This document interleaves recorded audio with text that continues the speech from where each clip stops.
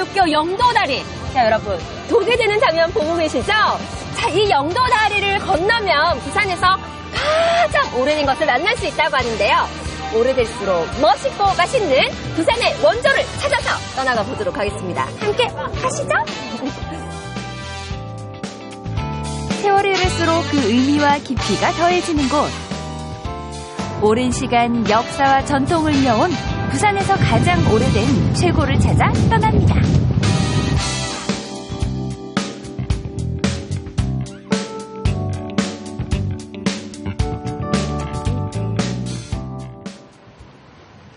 푸른 바다와 너른 자갈 해안이 멋진 이곳은 부산의 명소 태종대입니다. 태종대. 자, 여러분. 태종대 이곳 안에요. 부산에서 가장 오래된 등대가 있다고 하는데 한번 들어가서 저희가 확인을 한번 해보도록 하겠습니다. 태종대에 부산에서 가장 오래된 등대가 있다는 사실 알고 계셨나요? 태종대 안을 오고 가는 순환 열차를 타고 등대를 찾아 나섰습니다. 10분 동안 달리다 보면 등대 입구에 도착할 수 있는데요. 등대 가는 길 250m 이쪽으로 가면은 등대가 있나 봐요. 왠지 설레는 등대 가는 길. 오솔길처럼 예쁜 길이 이어졌는데요.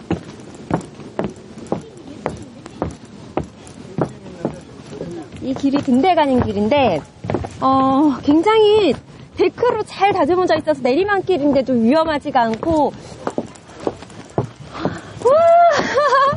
찾았습니다. 영도 등대. 오, 야, 이 파란 바다에. 태종대에 있는 부산 최초의 등대, 바로 영도 등대입니다. 태종대 해안절벽에 서 있는 영도 등대는 1906년에 세워진 부산 최초의 유인 등대입니다. 이 웅장함, 오, 멋있는데요. 자, 어쨌든 이 영도 등대가요, 부산에서 가장 오래된 등대이기 때문에 또 역사를 알아야 되잖아요. 오늘 또 저에게 옆에서 또 도움 말씀 주시는 분을 모시도록 하겠습니다. 안녕하세요. 안녕하세요. 네. 가장 처음 생긴 등대인데 소개 좀 부탁드릴게요. 영도 등대. 예, 지금 100년이 와. 넘게 예, 부산항을 바- 밝히고 있죠. 네. 예, 그래서 1906년 12월에 초전등대 갖고 음. 어, 지금까지 어, 부산항을 항해하는 선박들을 안전한 길잡이 역할을 하고 있습니다. 109년 전 처음 불을 밝힌 이후 부산항을 드나드는 선박의 길잡이가 되어주고 있는 영도 등대가 태종대의 명소가 됐는데요. 바로 등대 옥상, 등탑까지 개방해 등대를 즐길 수 있기 때문입니다. 아이고 힘들어. 와, 이거 다 온 거예요? 예, 힘들죠. 어마어마합니다. 이게 보니까 여기 높이가 어느 정도 되는 거예요? 어, 이 높이는 아파트 높이로 따지면 네. 한 13층 높이 정도 됩니다. 35m 정도 됩니다. 예. 아니 그 영도 등대가 원래 높이가 이렇게 높았어요? 아니요, 영도 등대는 당초에 한 9m 정도 되는데 음. 어, 예전에 그 노후 시설을 개량하기 위해서 2004년도에 네. 모든 시설을 다 헐어내고 새롭게 35m로 높였습니다. 개량을 다시 했습니다. 2004년 노후화된 등대 건물을 허물고 지금의 등대 모습으로 다시 지어졌는데요. 전시실, 박물관, 공연장 등 다양한 해양문화 공간이 함께 마련돼 시민들에게 편안한 휴식처가 되어주고 있습니다.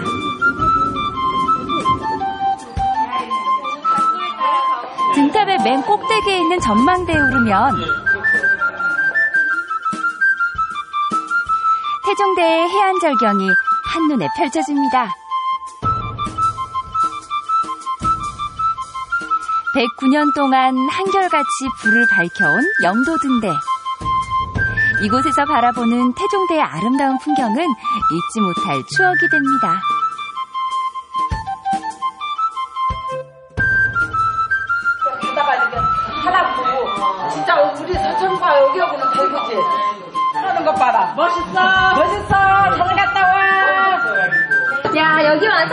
경치대 보니까 느낌 어떠세요? 좋아요 정말 좋아 정말 좋고 내가 천여 때온 것과 지금 한 60이거든요 지금 네. 60이거든 진짜 이 새록새록 그 옛날 생각이 나고 네.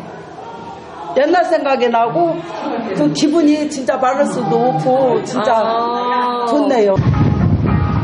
부산에서 가장 오래된 최고를 찾아 떠나는 여행. 두 번째로 찾은 곳은 바로 가장 오래된 어묵 공장. 야, 이 건물이 뭐지?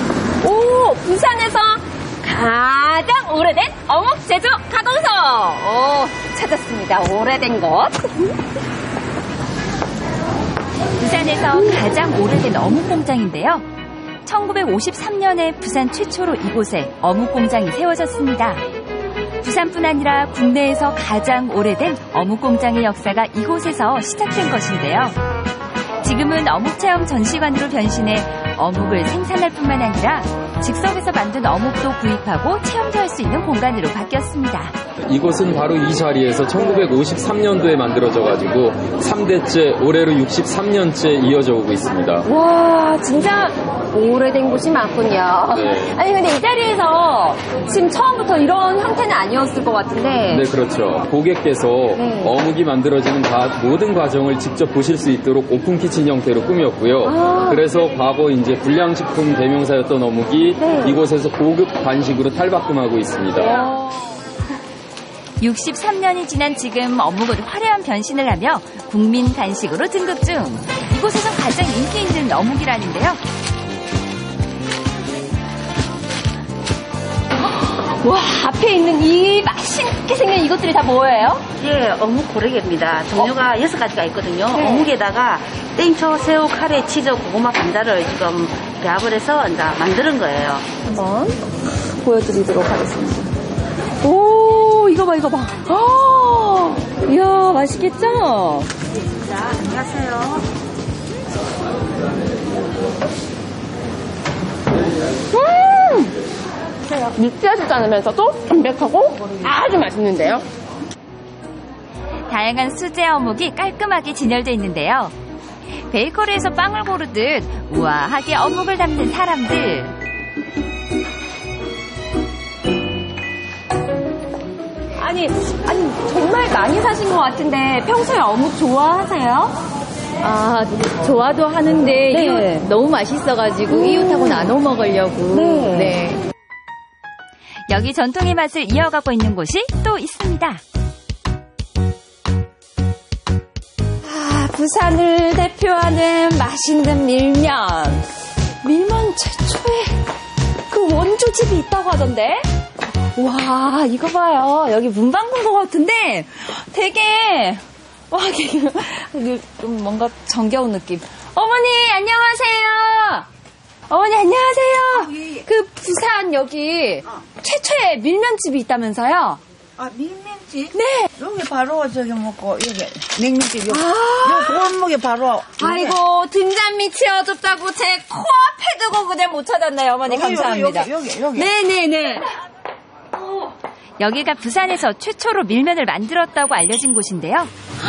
안녕하세요 와 여기가 원조집이구나 밀면은 대표적인 부산 음식인데요. 북한 함경남도 출신인 일대 사장님이 필연 시절에 밀가루로 냉면을 만들어 먹던 것에서 밀면이 시작됐다고 합니다. 이후 3대에 걸쳐 손맛을 이어가고 있는데요. 밀면 원조집으로 알려지면서 꽤 유명해진 이곳. 2013년 부산 기네스의 부산 최초의 밀면 제조업체로 선정됐습니다.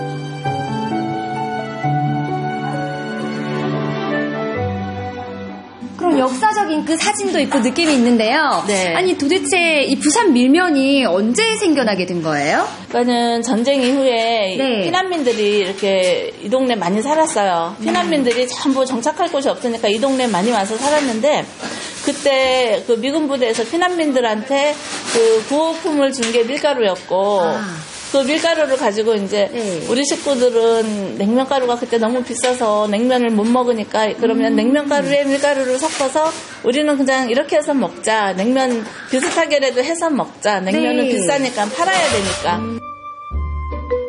56년 전통의 밀면을 맛보겠다는 미식가들로 늘 문전성시를 이룬다는데요. 한 그릇 뚝딱 비었습니다. 오. 아, 엄청 잘 먹던데요. 네, 여기 맨날 먹어도 질리지 않는 맛있어요. 배에 들어간 밀면 그릇만 해도 어마어마할 것 같은데요? 좀 맛이 다른 데서 좀 요새는 좀 하도 좀, 좀 조미료도 많이 쓰고 이런데 여기는 좀 먹으면 맛도 좀 깔끔하고 부산의 첫 번째 집이라서 그런지 항상 예, 좀 생각이 납니다. 3대에 걸쳐 내려온 밀면 맛의 비결 궁금해지는데요. 밀가루와 고구마 전분을 섞어 쫄깃한 면발을 만들어주고요.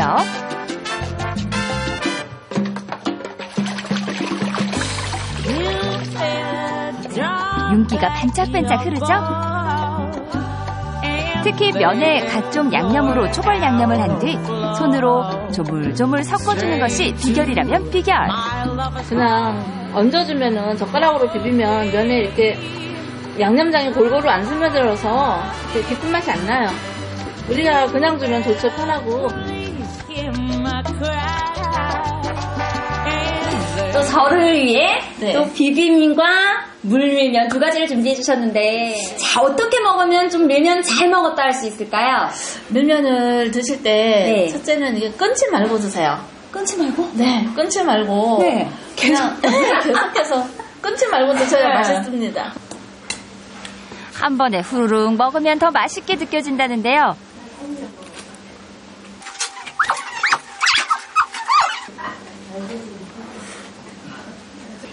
우와. 면이 아주 그냥 제 입에서 통통통통 뛰면서 노네요. 56년간 변함없는 맛으로 피란민의 애환이 담긴 밀면을 만들어내는. 곳. 부산 최고가 아닐까요? 부산에서 가장 오래된 곳을 찾아 떠난 여행. 이번엔 작은 이발소를 찾았는데요. 여기구나 가장 오래된 이발소. 부산에서 가장 오래된 곳을 찾아 떠난 여행. 이번엔 작은 이발소를 찾았는데요. 오래된 목욕탕 한켠에 자리한 작은 이발소. 예전 이발소 풍경 그대로를 간직하고 있습니다. 손때 묻은 이발 기구들이 오랜 세월을 말해주는데요. 53년간 이발사로 근무하고 있는 강봉원 씨의 이발소입니다. 65년도 내가 이발소 처음 개업했대 사시니까네. 지금 햇술 찾으면 지금 몇 년 되면 모르겠다면 작은 오래됐습니다. 이게. 1962년 이용사 면허증을 취득한 후 부산에서 가장 오랫동안 이발사로 근무 중인데요.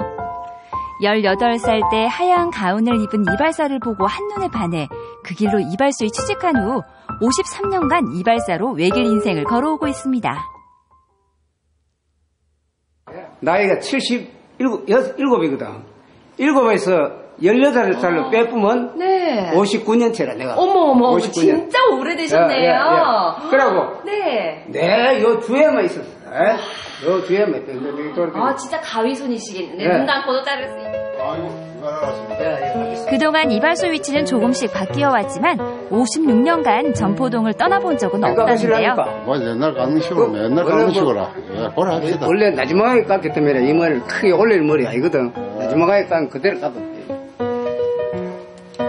23년 전부터 바로 이 자리에서 변함없이 손님을 맡고 있습니다. 요새 뭐 어떠십니까? 잘 지내십니까? 오랫동안 한 동네에서 이발소를 하다 보니 뭐 단골 손님이 대부분인데요.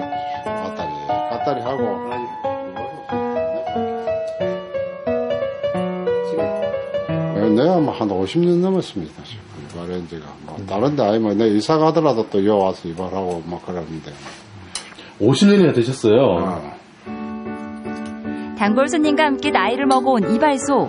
이곳은 젊은 날의 기억을 떠올리게 하는 추억의 장소이기도 한데요.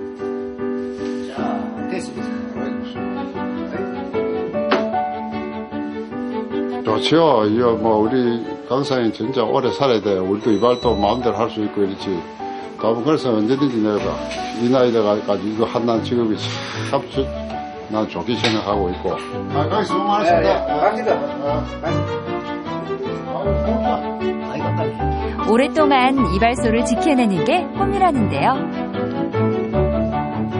내가 오래오래 하라고 그것만밖에 안 해요 지금 그 걱정이 그 걱정이라 내가 오래오래 몸이 건강해가지고 오래오래 이발을 하는 게 뭐 좋다고 소위 말하면 다 그래 급변하는 시대 속에서 변하지 않고 늘 같은 자리를 지켜온 부산에서 가장 오래된 그곳. 역사와 전통, 그리고 사람 사는 이야기가 담긴 부산 최고를 만나보세요. 여러분은 하루에 잠을 얼마나 주무시나요? 최근 미국 수면재단에서 여러 분야의 전문가들이 모여서 연령대별 권장 수면 시간을 발표했는데요. 3개월 미만의 신생아는 14시간에서 17시간, 또 10대는 8시간에서 10시간, 성인은 7시간에서 9시간이 적절하다고 합니다. 성장기 아이들에겐 잠이 보약이지만 성인들에게는 10시간이 넘는 과도한 수면은 오히려 당뇨나 비만의 위험을 높인다고 하니까요. 자신의 연령대에 맞는 적절한 수면 시간으로 건강한 하루 보내시기 바랍니다. KBS 네트워크 참TV 오늘 준비한 소식은 여기까지입니다. 시청해주신 여러분 고맙습니다.